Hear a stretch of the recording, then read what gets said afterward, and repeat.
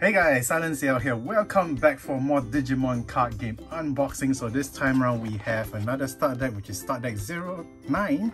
Um, there are a few other start decks that are supposedly um, good and because they are too good it has become extremely hard to find. So we're talking about the Gallantmon start deck and of course I think was the um, what Dramon I guess? Uh, V V Dramon I don't know. It's a Dramon deck um, which is a blue line.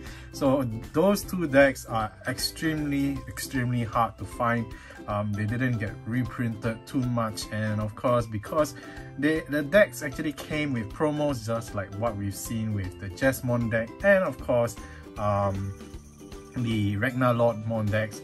Um, but the promos given in those decks were exceptionally, exceptionally good. In fact, they were the first of its kind and became staples for most of the decks nowadays.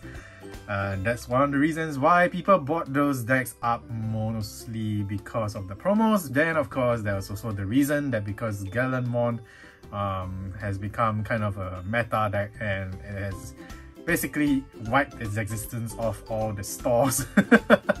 and yeah, even on Amazon Japan, you can not even find a single copy of those decks anymore.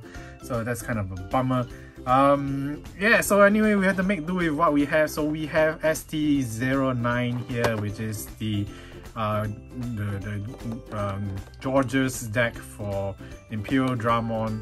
Um, so yeah, that's pretty interesting. So I, I actually liked uh, Digimon Adventures 02.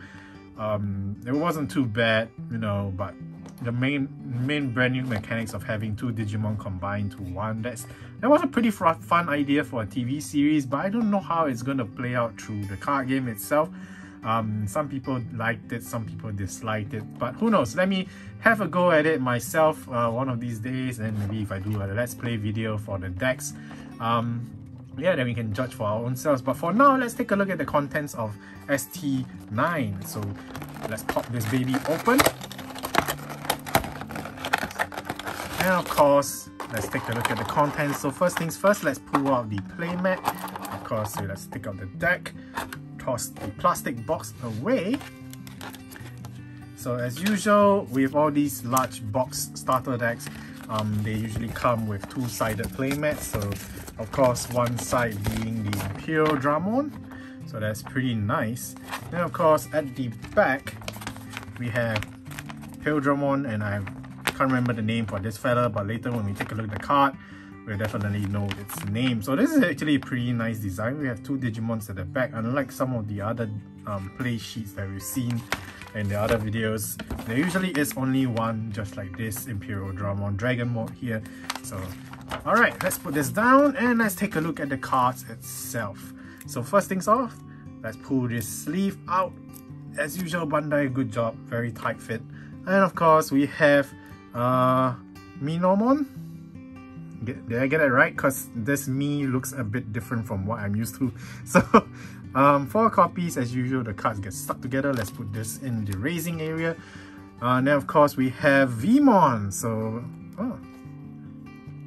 What? Two copies? Seriously? Is this one of the reasons why this Veemon is kind of expensive? So it does have the ability where um, if it's just summoned out instead of Digivolution, you can look at the top three cards of your deck. Then of course if they have V um, or free, the free typing. So as you can see, the free typing is here. Um, in the in in any of the three cards that you open up, you can add one of them to hand, and of course you can choose to put the rest of them in any manner at the bottom of your deck after that. So two copies. So if you need a play set of this, you definitely need to buy two of these start decks. Then of course we have four copies of Vanilla Betamon, so that's pretty cute. Looking at this winking Betamon here. So adorable. Alright, then we have... Oh! Oh! Cards are all stuck together. Four copies of um, X, uh, X Veemon. So X Veemon. So that's pretty awesome. So from hand, this card enters the field. Um, Midori, look for what? Green? Digimon, oh, if you have a green Digimon on field, oh, minus one cost to summon? Really? That's actually pretty cheap. So it'll become three costs if you have it from hand and summon out to the field and you have a green Digimon on the field, it will reduce the cost of summoning. So that's not bad. Then of course it's Digivolution ability. I, uh, when attacking, this Digimon is um, around. Oh, green Digimon is around. Uh, this turn, this Digimon gains 1000 power. So pretty decent. Not the best Veemon, but I mean, not the best X Veemon, but still something there. Alright, so then of course we have the foils. We have two copies of Paildramon. Um, this is the main George's card, I guess, uh, aside from, yeah, even even Imperial Dramon Dragon mode doesn't have its George's ability, so I guess it's the main George's card. Uh, Jogress. Keep pronouncing it wrongly. So Jogress, um, then of course, basically you need a blue and a green uh, level 4 Digimon on the field.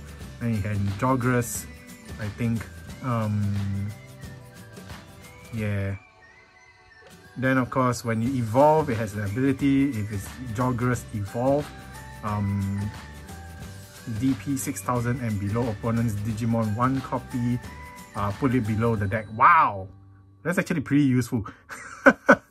Okay. So I guess if you need a playset of this definitely you will have to buy two of these start decks. So you get two copies of the Veemon, which is pretty decent. I've got two copies of this Imperial uh, Paildramon. Um, so yeah, of course it has the attacking ability. Once per turn, this Digimon um, can restand itself, so um, basically active once again. So that's not too bad. No wonder this thing is pretty fun to play.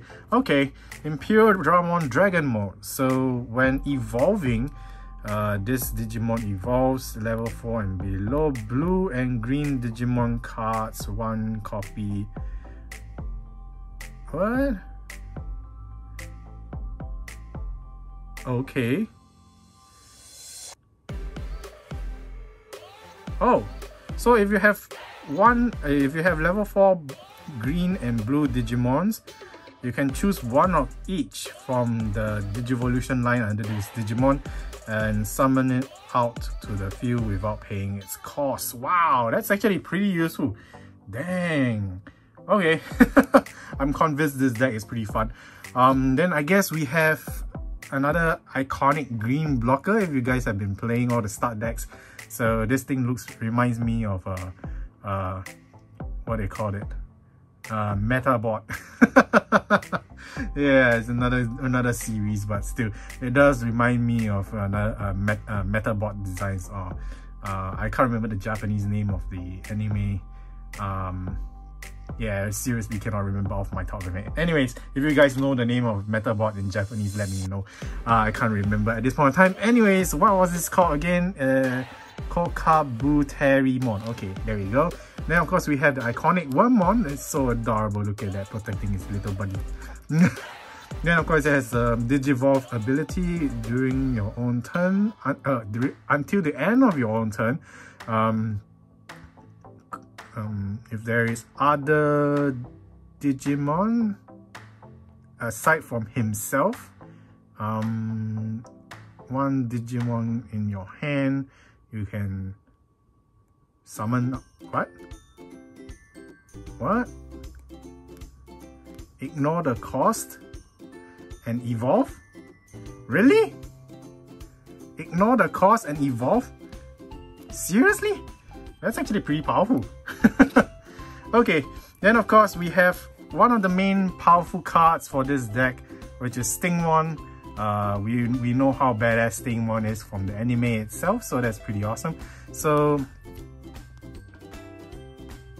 if this card is in your hand and it comes out to the field and you have uh, blue Digimon around, the cost is reduced by so, so basically it's the same thing as the the uh, ExVeemon uh, yeah ExVeemon I think it's called ExVeemon um, so yeah pretty much the same thing and of course when it's under the another evolved Digimon um, and it attacks. If you have a blue Digimon around, you draw one. So that is actually very useful, drawing one. Holy crap. Alright, moving along. So we have two copies of this Tsunaimon Um, I don't know if this is any useful, but it does have the security ability. So um, I guess this was, I mean, it's not the first of its kind, right? Um, BT02 included this kind of uh, effects basically where if this Digimon is in your security and it gets checked, you can actually um, summon out onto the field. So yeah, that's pretty useful. And then of course, oh, it has even a summon ability. Opponent's Digimon 1 rest. Wow! Wow, this is actually useful. No wonder there's only two copies in the deck. So I guess if you want the playset of this, you have to buy another deck. But from the looks of the effects so far, I don't see why not. No, most of the cards are pretty interesting. Oh, four copies of this Jogress Digimon. Okay, what's his name?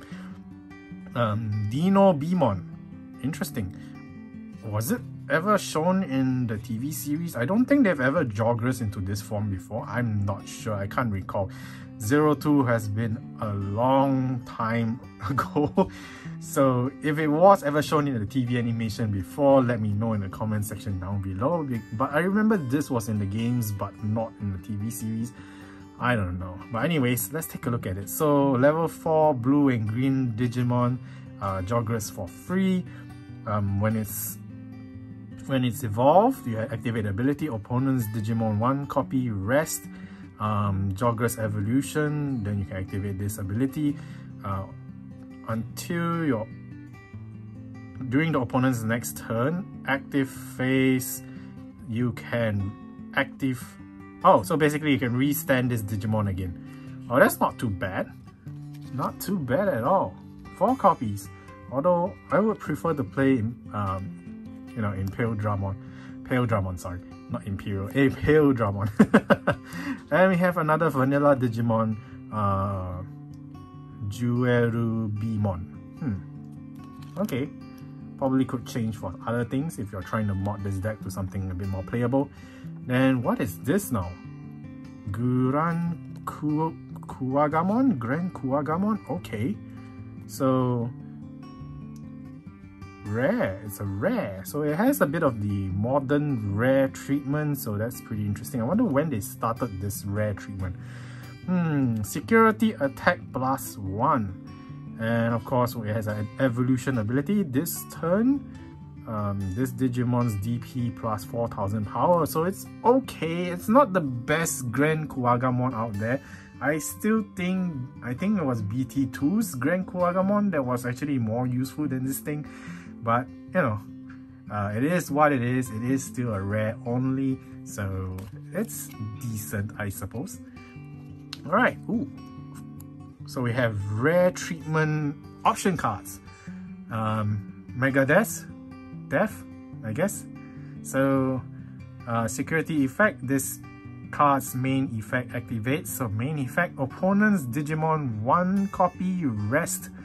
Um, so after resting that one opponent Digimon is returned to hand. Oh, so you can choose another rest Digimon and return it to hand. So let's say for example, if opponent has multiple resting Digimon aside from the one that you just rested. Um, so yeah, you can return one to hand. That's, that's pretty decent. I guess that's why it's rare foil. so yeah, once again, two copies. If you need another set, you know, you know what to do. Alright, so four copies of this option card. Um, Mascaredo. So I guess, hmm, what does this do? So trigger is security effect or it just adds it to hand. That's kind of a bummer. Main effect, for this turn, one of your own Digimon DP plus 2000. Um, then after that, if you have a blue Digimon around this turn, uh, one of your Digimon has the piercing ability. Oh, oh, nice. Piercing ability. So, but it does cost one, so that's not too bad. But the trigger for the security check is kind of a bummer. It would have been more powerful if it at least does something else other than add this card to hand. so it's a pretty decent option card, but still there are better stuff out there. And of course, the main reason for this deck purchase uh, Flower Cannon, yes, it's Green's deck's one of the more iconic option cards. Um, so yes, security check. Um, blocker or Motanai. So if opponent has no blockers around, all their Digimons rest. That is so useful. It just basically obliterates their chance of destroying your security. So nice that it's actually a rare foil. So that's pretty, pretty cool. They do have this reprinted in like, um, like I said in the um, start decks for Taichi, Met, Yamato and Takeru, the first three starter decks. Um, basically, Premium Bandai did reprint some of the option cards, and this is also one of the option cards. Flower Cannon was reprinted with an alternate art in that Premium Bandai set, which is now extremely, extremely expensive. So it's nice to have at least a full set here, and of course, if you buy another set of this starter, to complete a playset, you will have 8 copies of this beautiful shiny green card. so yeah, the main effect is basically to rest one opponent's Digimon, which is decent, uh, especially for green decks, which is always to, you know, um, obliterate opponents, rest Digimon with a lots of piercing and combo damage. Then of course, with all the modern start decks nowadays, you have nice, solid plastic memory gauge cards, unlike the the first three start decks that only gave memory gauge cards with all these useless point cards. So yeah guys, that's it for the Imperial Dramon. Um, what's this deck actually called? Let's take in the name. Start deck Kyo... What? Kyo... Kyo Kyoku no Kodai Ryo. So I guess... What? Kyokoku no Kyodairu. Kyodairu is gigantic dragon, so what is Kyokoku again? I can't remember my kanji. Anyways, that's the end of this start deck. Start deck. Uh, what's the number? Number 9. There we go. So guys, as usual, leave your thoughts in the comments down below. Are the cards here still viable for this current meta of Digimon the card game? Are you looking forward to purchasing maybe one of this start deck after looking through the cards because you have some idea of what to play or maybe you just need certain cards inside this deck to just complete your collection or you know play sets to get ready for any kind of change of meta. Guys, as usual, thank you guys for watching this video. Leave a like, subscribe for more content coming soon and I'll see you guys in the next video. Until then, bye!